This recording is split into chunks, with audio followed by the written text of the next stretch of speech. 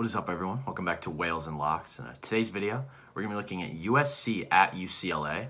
Uh, the line in this game is USC minus one and a half, and the over/under is 134 and a half. So, this is the second time these two will match up, as USC took UCLA to the shed the first time out, winning that game 66-48. Uh, um, as UCLA shot just three of 19 from three-point land in that game. Um, on the USC side, they sit at 20 and 6, 14 and 5 in the Pac-12, putting them tied with Oregon right now for first place. Uh, USC hasn't quite been the same lately, losers of three of their last five. However, a lot of that can just be attributed to the fact that they backloaded their schedule with a lot more tougher teams in the Pac 12. Um, as their last five games, they've seen Arizona, Oregon, Colorado, Utah, and Stanford, and now UCLA here to finish it out. Um, USC is led by their potential number two pick in the draft, um, and Evan Mobley, who can really do it all. Uh, the man puts up 16.2 points per game, 8.5 boards, shoots 58% from the field, 71% from the line, and blocks 2.8 balls a game. So what really can't this guy do?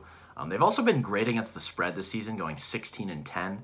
And this game also obviously means so much to them as they still have the opportunity to win the Pac 12 with a win and an Oregon loss to Oregon State. Um, on the UCLA side, they sit at 17 and 7, 13 and 5 in the Pac 12, putting them a half game in third behind USC and Oregon. Um, this team, too, has the opportunity to win the Pac 12 championship, but they, need, they do need the same exact thing as USC here with a win and an Oregon loss.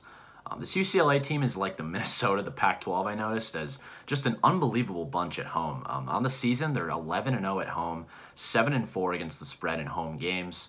Uh, you could, however, argue, which is fair, uh, that they haven't seen many of the best Pac 12 teams this season at home, as their best home wins are against Colorado and Arizona.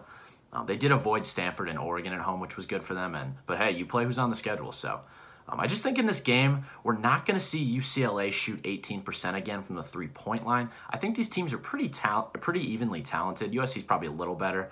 Um, and if you give me a team who's undefeated at home as the dog in this game, I can't pass that up. So I'll take UCLA here plus one and a half, and I do think they probably win the game outright as well um, to at least secure second in the Pac 12. So if you did enjoy this content would like to see more picks in the future, please like and subscribe, and I'll see you all in the next video.